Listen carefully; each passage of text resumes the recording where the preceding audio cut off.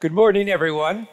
I know yesterday was a productive day, and very pleased to welcome you to day two of CERAWeek 2024. And to begin, I'm very pleased to be able to welcome Mike Wirth, who's the chairman and CEO of Chevron. Mike, come and join.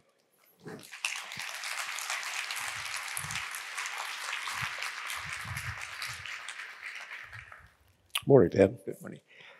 So, Mike, uh, one of our colleagues at uh, uh, at S&P, Lou Carranza, for 10 years was at MIT. He's now the managing director of CERAWeek. And he mentioned uh, that in 2019, you set up a program at MIT to uh, train uh, people from Chevron on AI. Uh, that's five years ago. What did you see that uh, led you at that point to set up that program? Well, um, first of all, good morning, everybody. Uh, as we look at hiring, uh, we're still doing a, having really good success in hiring all the disciplines we need in our industry, and they're very diverse and um, technical in nature. Uh, the one area I would say was becoming more difficult were data scientists and people that understood where the world was headed with digital technologies and uh, had the skills to do things like we're seeing now with AI. And um, and, and they, they tend to want to go work for OpenAI or Google. And, and so it was harder and harder for us to, to recruit people in with that talent. And I knew the president at MIT, and I had a conversation with him. And I said, you know, rather than us trying to go compete for this talent and finding that it's really difficult, what if we had a different program where we take um, smart uh, geologists, geophysicists, engineers that are five to 15 years in their career, and we send them to MIT for a year to get a degree in data science and machine learning and all the things that are going on. Uh, can you help us craft something that can build off their domain knowledge of earth sciences and chemistry and chemical engineering and give them the skills to understand how you integrate these new powerful data tools into our business where they've got deep domain knowledge, but we don't really have the, the, the depth in, um, in these emerging data sciences. And so we set a program up and we take about 30 people a year from our company, we call them the digital scholars, and they go back to MIT. We now have set something up at Rice as well and they're they're paid their regular salary. If they've got a family, their family moves, and we pay for their family to to live there as well. And their job is to go back to school for a year and and learn where this is all headed. Now, it's one of those things. It sounds interesting. I've gone and sat in on a lecture to uh, to to get a look at it, but you know, if, I don't know if you've ever had that nightmare where you find yourself back in school and you forgot to go to the class. all the time. final exam. I'm, I'm glad I'm sending our bright young people to go do this because I looked at them. I don't know if I can handle this myself. But uh, anyway, we've got about 150 people now who have been through this program or will be as of the, the, the most recent graduating class. And they come back in to help us solve the big problems, the big challenges that we see in our business, uh, whether it's safety, reliable operations, how do you improve your performance in exploration? There's so many different areas where we've always applied these kinds of tools to improve performance in this industry. And, uh, and we partner up with all the big technology companies to, to do this. But we've got people now who are much more able to see the problems, understand what technologies might help address those problems, and then work to bring those into our business. I imagine several people in the audience would like to sign up for this program. So, uh, and so, um, what specific was AI at that time on your mind and on your radar screen?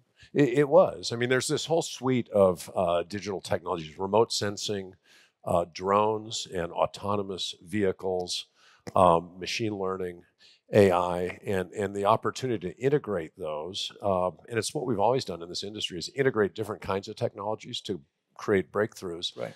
And uh, and yeah, so it was it was all of those, and you could see them doing. One of the first things I did with our leadership team when I came into the role is we went and spent uh, two or three days in Silicon Valley, and we didn't look at energy technology. We looked at the technology, you know, autonomous vehicles and people that were using satellites to monitor the uh, level of roofs in floating crude oil storage tanks and using kind of you know, middle school geometry to figure out where was the roof and therefore how much oil was in that tank and do accurate uh, global inventory counts using tools that we'd never seen before. So, so I really wanted my leadership team to be exposed to how the world was changing, and then say, what does that uh, lead us to look at, and how do we prioritize bringing technologies into our business that can help improve performance? And uh, with a, a cadre of 150 people, you can see the impacts of the program. We are. We're, we're, we're bringing these technologies in now on, um, you know, if anybody's looked at this, you know, people are using um, machine learning and AI, doctors are, to look at x-rays and read x-rays more accurately and more rapidly. Uh, you can do the same thing with radiography on welds and get right. much better interpretation on that. Um, we're using it for some of our sub subsurface applications. We're using it for production forecasting in the Permian. We've built digital twins of refineries and LNG plants, and you can now model things. You can troubleshoot things remotely. So there's a, a whole host of applications that we're already seeing. So you get greater efficiencies and cost savings from it. Safety, reliability, lower cost uh, greater efficiency, all the things that have always driven value and performance in our business. Yeah. So it must be uh, the app people apply from within the company and get nominated. It, it, yeah, it's um, the, people can apply. Supervisors have to yep. a, approve it, and it's uh, it's been a pretty competitive process. We get a lot of people that uh, would like to get paid to go back to school. Go for, for yeah, yeah, yeah. yeah. Hours are better. Uh, so, uh, and obviously, it has an impact on the upstream Hey, upstream, downstream, yeah, midstream. Yeah. I mean, it, it, every part of our business will be transformed by these technologies. Right. So uh, let's talk about the upstream and turn to the Permian, and uh, uh where I assume that these techniques are being applied. Uh, uh, what do you see? You have pretty aggressive targets for the Permian. How do you see that happening? Yeah, I would say our, our targets are the, you know, I'm not sure I'd characterize them as aggressive, Dan. They're the, the same targets we've been carrying for a number of years. We've been on a steady program to try to drive very um, capital efficient development of our position, which is a large position and it's a very advantaged one with low or no royalty across most of the acreage. And so uh, we're looking to drive strong returns, and, and that's the primary uh, metric that we work towards. And um, in doing that, uh, you know, we've been on a trajectory for several years to reach a million barrels a day of production in 2025. We continue to be on that path. Uh, we we finished with our highest year of production in the Permian last year ever.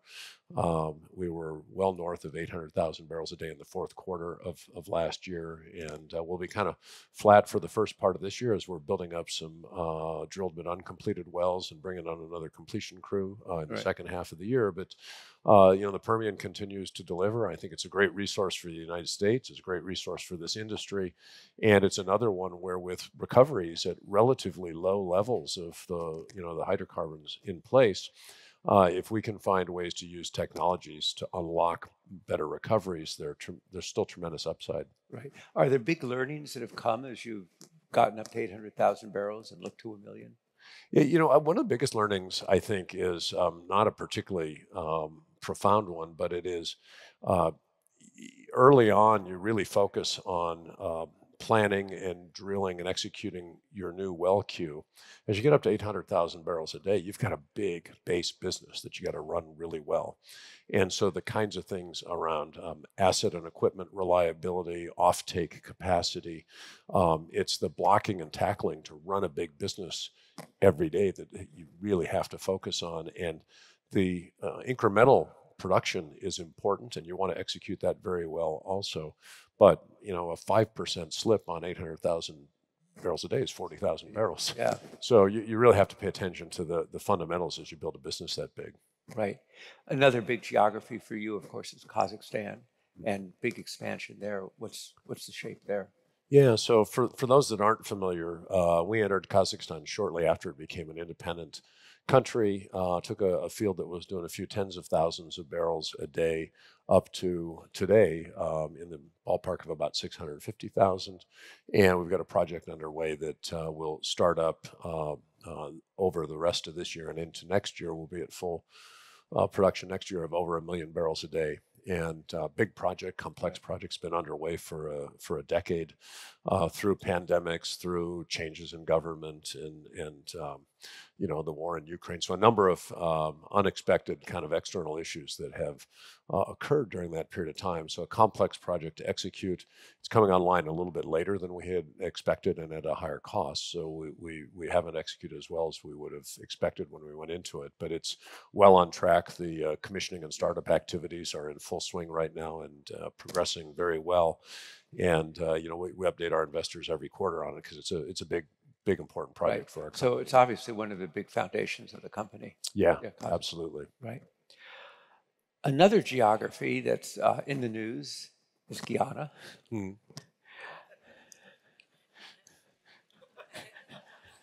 What was that look? Um, how to how to phrase the question?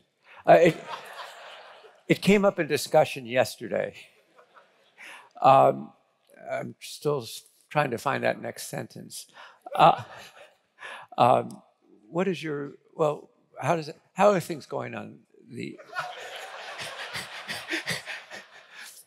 You're doing a, a merger with Hess. You're not usually tongue tied. You know where I'm trying to go.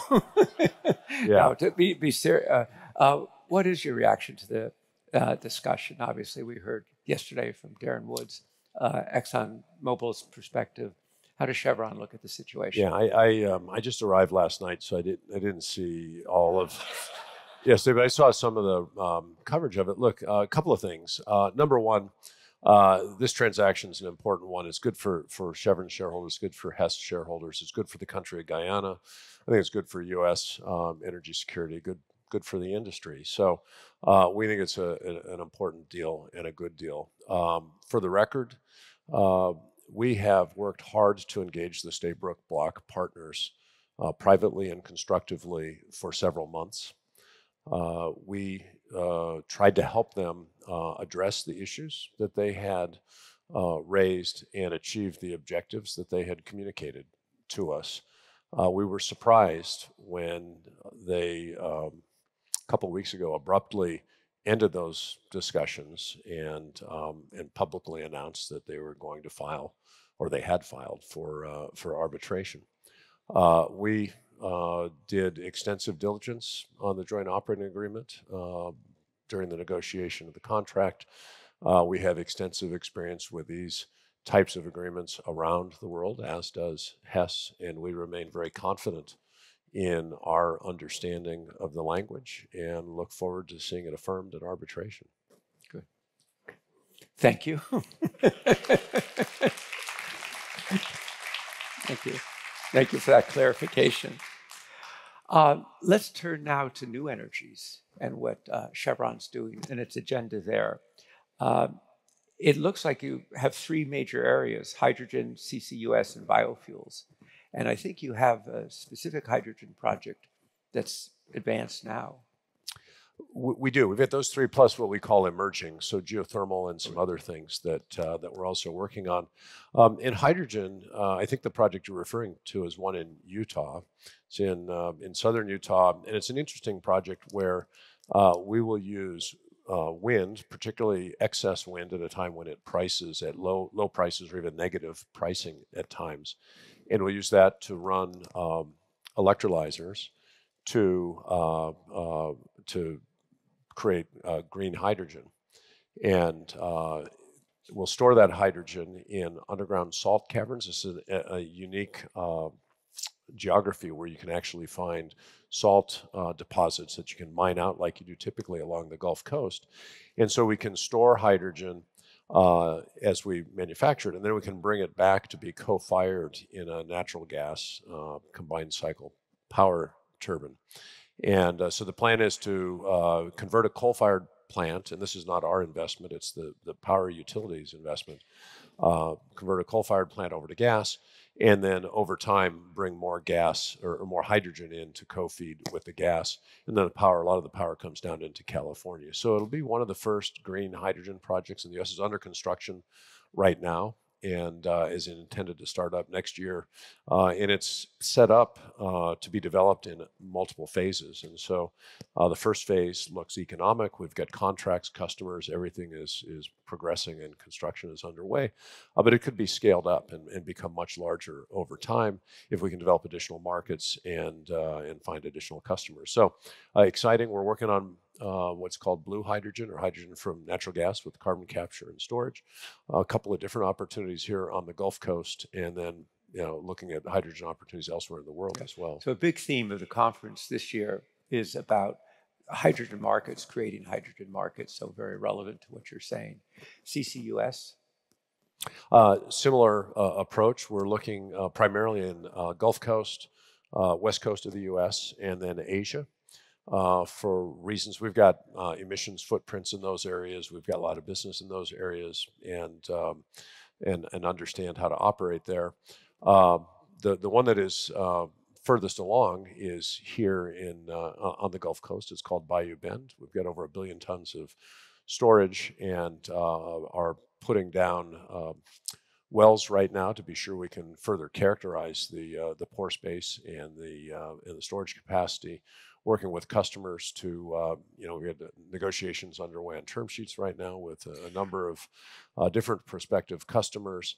And, um, you know, we've got to get through the well permitting uh, process with, with EPA. Uh, Texas has not yet been granted primacy. Louisiana has, so they've taken over permitting in Louisiana. We'd like to see the same happen here in Texas so that we can, you know, have a greater confidence in the cycle time and, and actually getting is permitting permits. Is permitting being an issue? I think permitting is an issue. The other thing that's an issue is, um, you know, just the commercial structure of these ventures is new. Uh, it's a little bit if, like, if you go back and look at LNG decades ago, you typically want to have um, large uh, long-term contracts in place to underpin a, a significant investment.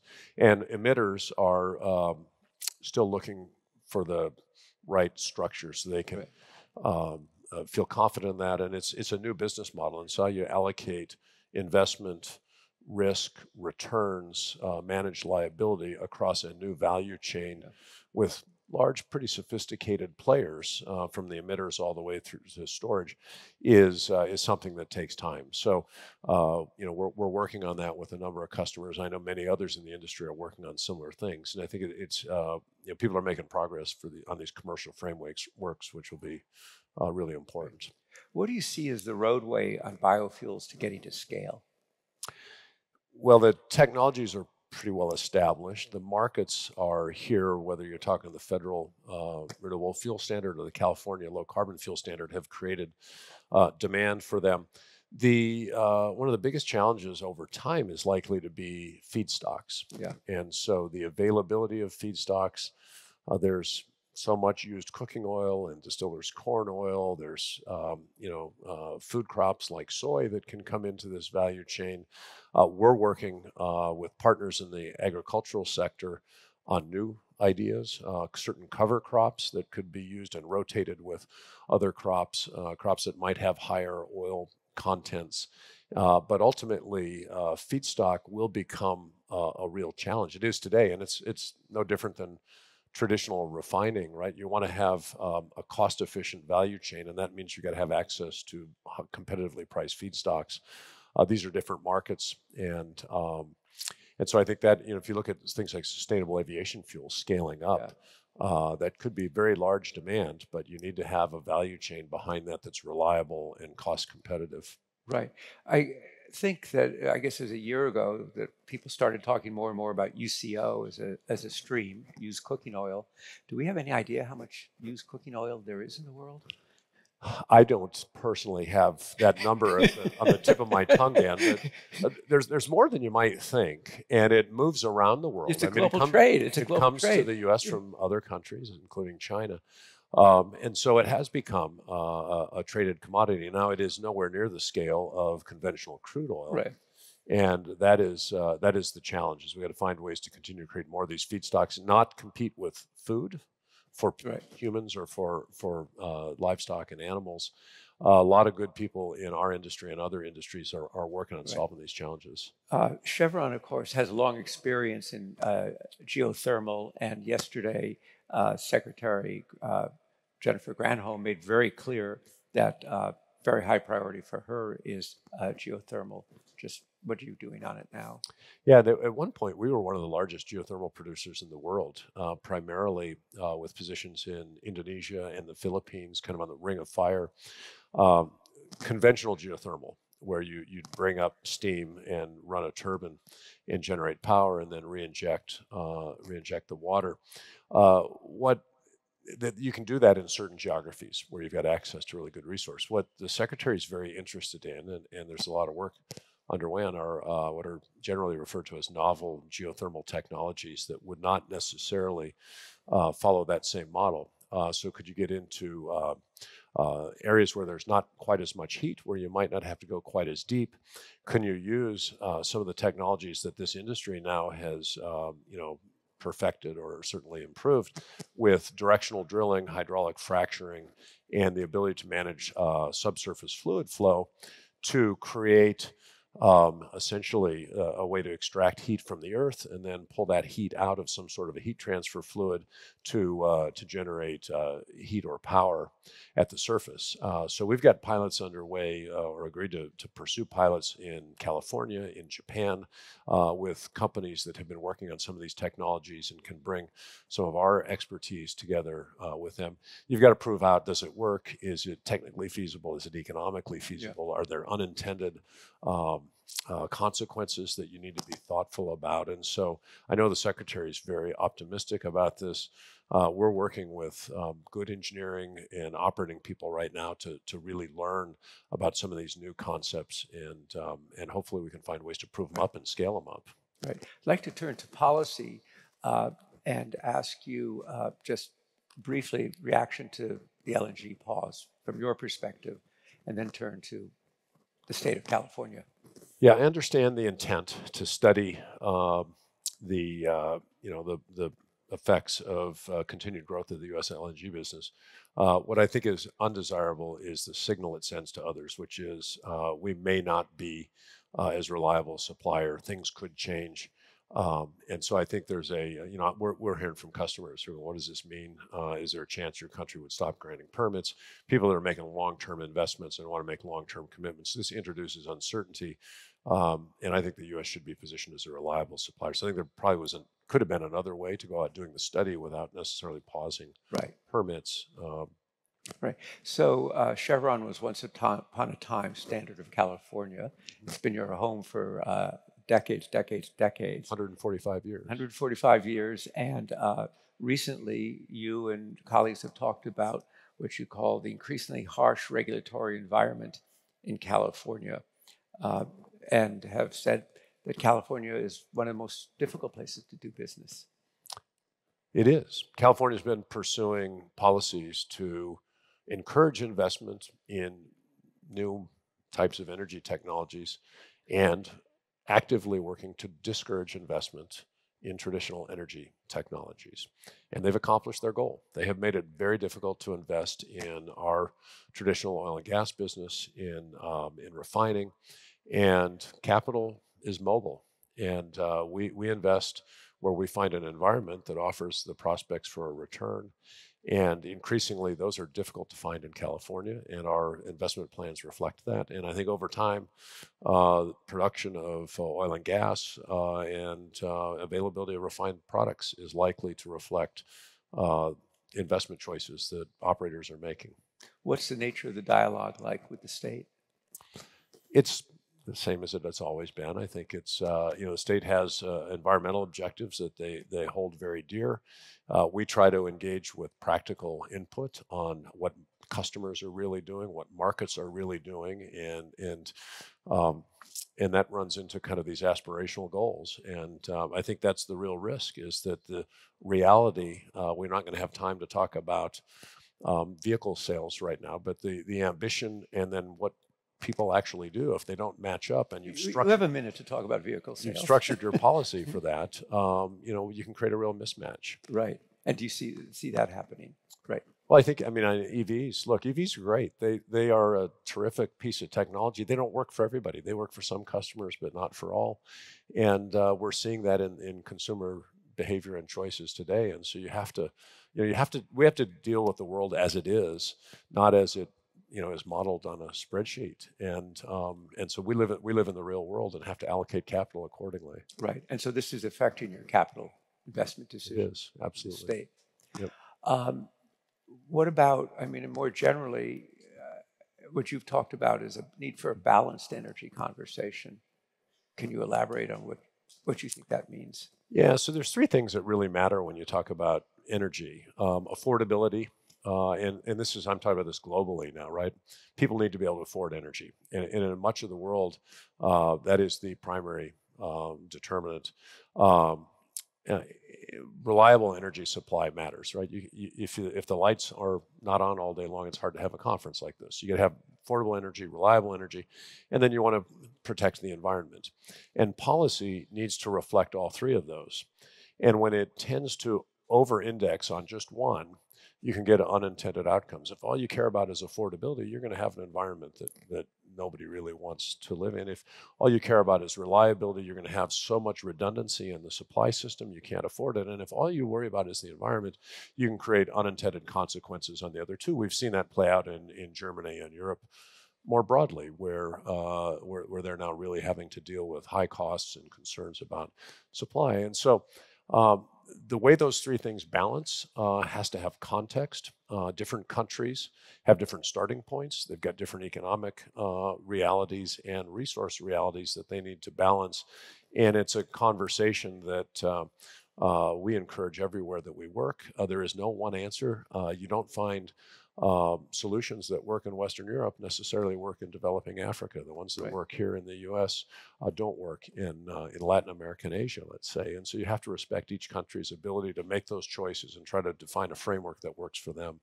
Right. How many years did you say Chevron has been in business? As 145 years, founded in 1879. Right. So looking forward from that, um, and I was thinking that we began talking about uh, your young people, sending them to MIT to prepare them for uh, bringing those technologies together.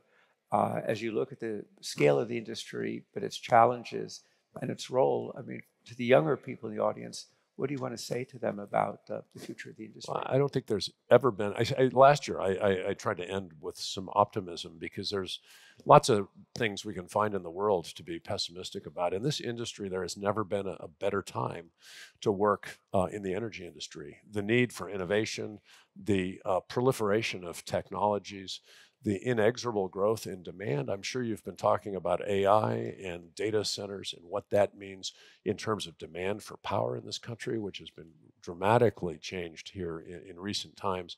Uh, the opportunity for young people to make a difference, to come into this industry and help define a path towards a, a, a, better future in a world that needs more and more and more of what we do every day. It's, it's never been more exciting. I wish I could be starting over mm-hmm. again as a young person and, and joining this industry today. Right.